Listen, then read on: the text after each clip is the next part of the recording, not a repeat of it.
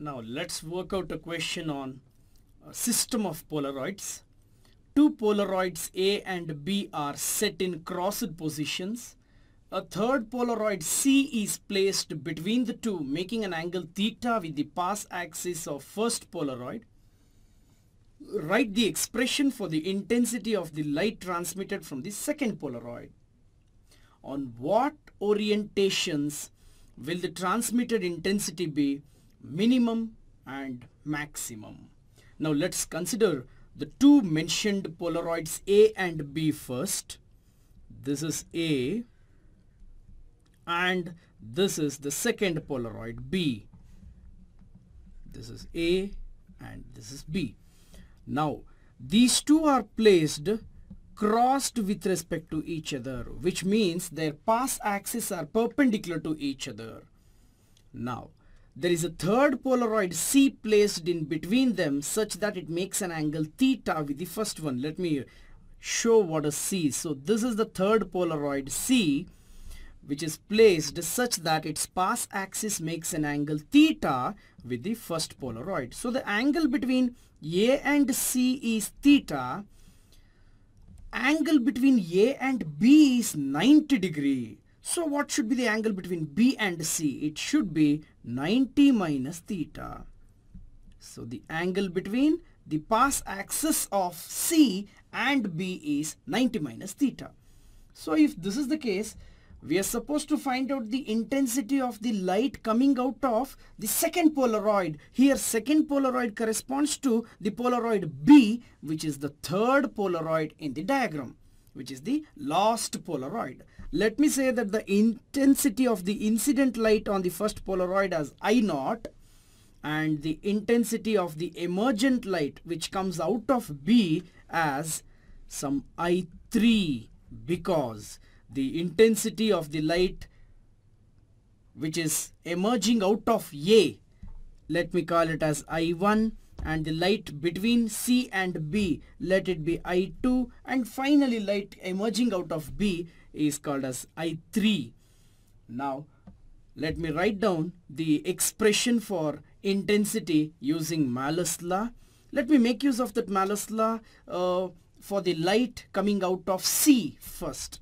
so that is my I2. I2 is the intensity of the emergent light coming from C. Of course it depends on I1 into cos square theta. It is I1 cos square theta is your I2. Now I1 is nothing but half of I naught. That is it can be written as I naught by 2 into cos square theta as it is. This is I2 you can go to I3 now again using Malus law. I3 is given by I2 cos square. What is angle between B and C? It is 90 minus theta. Therefore I2 cos square 90 minus theta. So what is I2 I2 is as already explained I naught by 2 into cos square theta now let's work out a question on a system of Polaroids Two Polaroids A and B are set in crossed positions. A third Polaroid C is placed between the two making an angle theta with the pass axis of first Polaroid. Write the expression for the intensity of the light transmitted from the second Polaroid.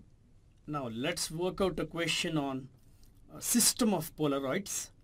Two Polaroids A and B are set in crossed position. Now let's work out a question on a system of Polaroids. Two Polaroids inside the bracket. There is a there is a 2 in the denominator which I'll write later. And look at the term inside the bracket. It is 2 sine theta into cos theta whole square. That is 2 sine theta into cos theta is sine 2 theta. Sine 2 theta square can be written as sine square 2 theta. And in the denominator there is 2 square which is 4 and there is one more 2 in the denominator. So in denominator there is 8 so this is the required expression for the emergent intensity which I'll write once again. So the emergent intensity is given by I3 is equal to I naught by 8 into sine square 2 theta. This is the required expression But now there are two questions asked for which orientations do you get maximum emergent intensity and minimum emergent intensity.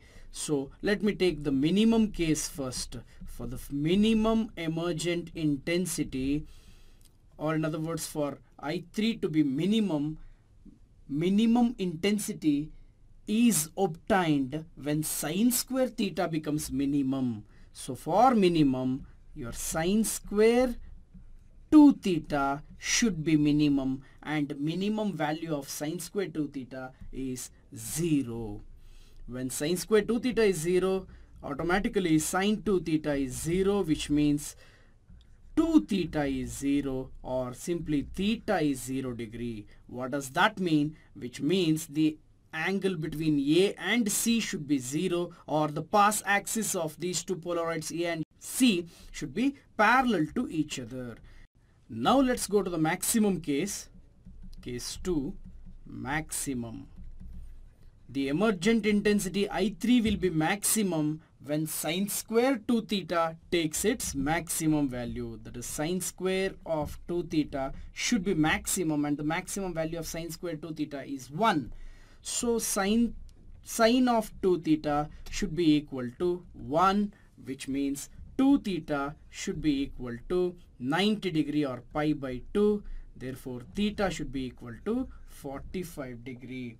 So when theta is 45 degree, that is the angle between A and C is 45 degree, then the emergent intensity I3 will be maximum, which means the third Polaroid, which is C, should bisect the angle between A and B. That is the result. Now this is a question on Polaroids. Two Polaroids are placed at 90 degree to each other. Find the intensity of emergent light when one more Polaroid is placed between these two, bisecting the angle between them. So let's consider the two Polaroids first.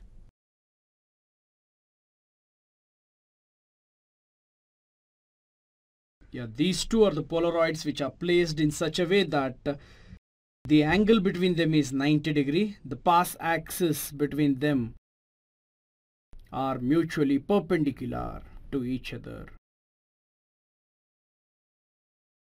Now, there is a third Polaroid kept in between them in such a way that it bisects the angle between these two.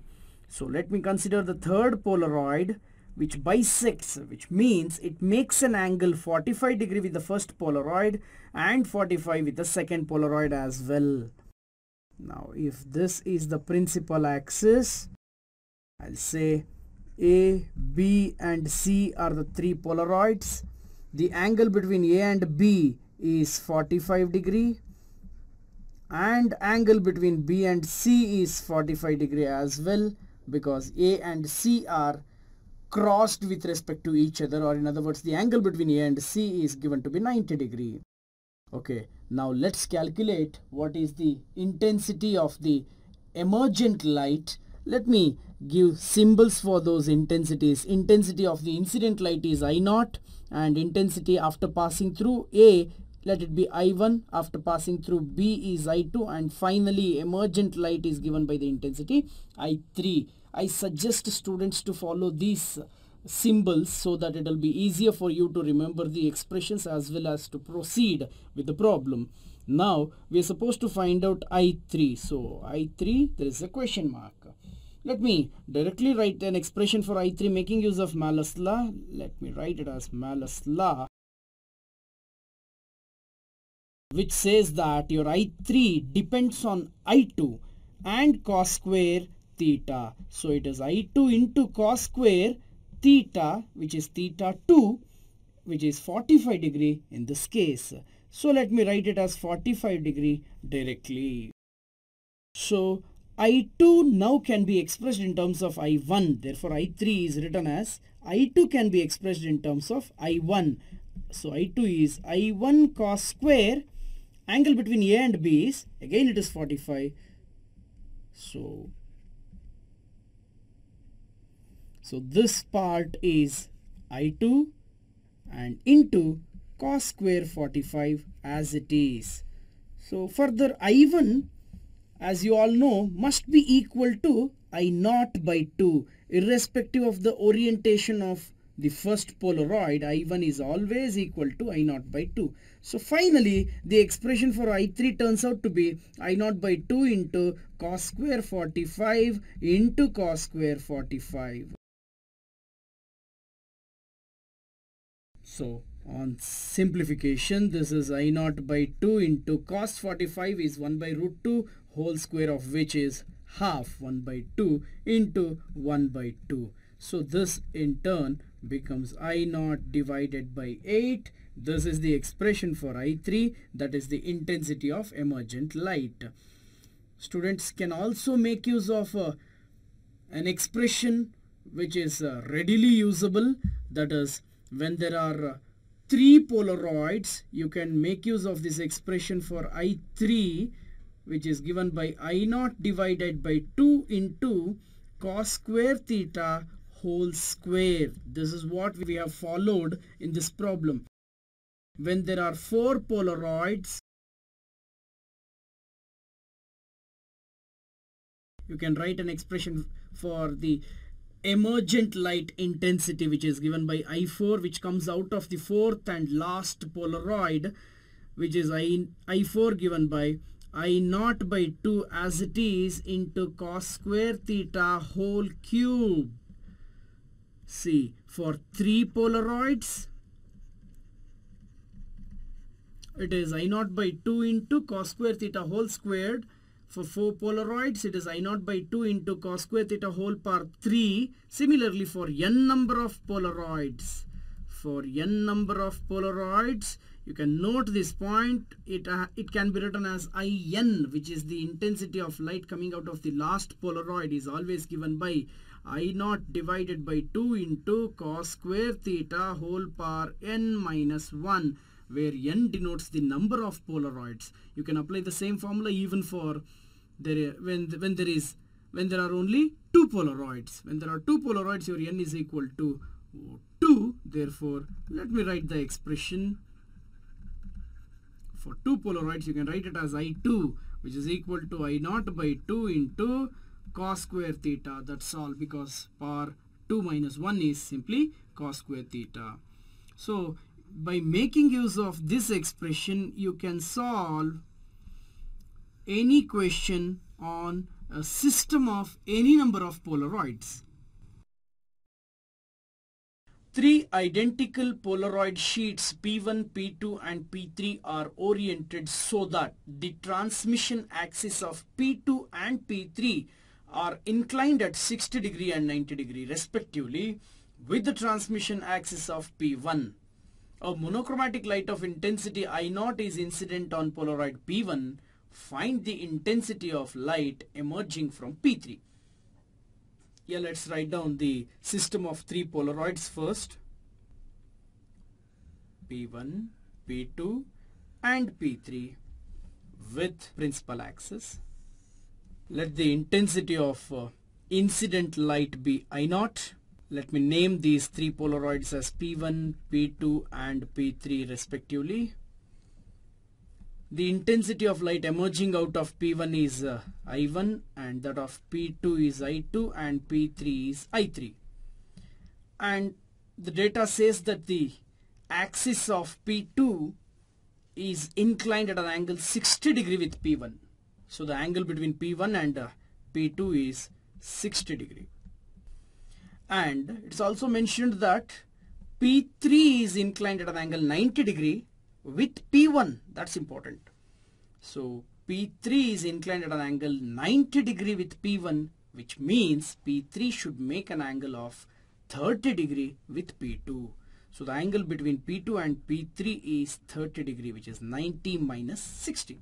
Now by making use of uh, these data we are supposed to find out the expression for your I3 question mark. Let me straight away start with the expression for I3 making use of Malus law.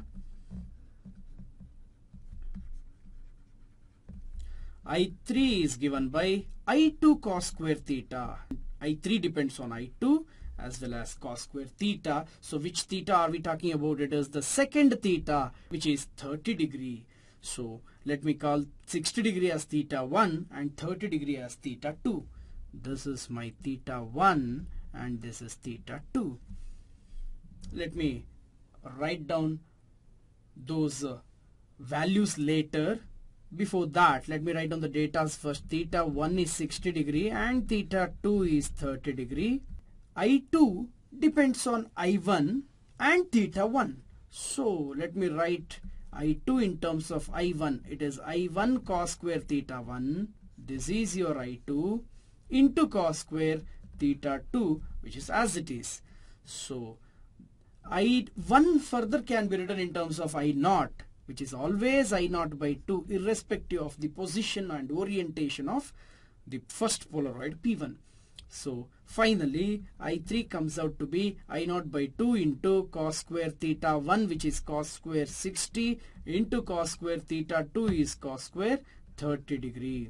So let me substitute the values I naught by 2 into cos 60 is 1 by 2 square of which is 1 by 4 into cos 30 is root 3 by 2 the square of which becomes 3 by 4 so this is nothing but 3 i naught in numerator and denominator I have 32 so this is the expression for the emergent intensity I3 which is equal to 3 i naught divided by 32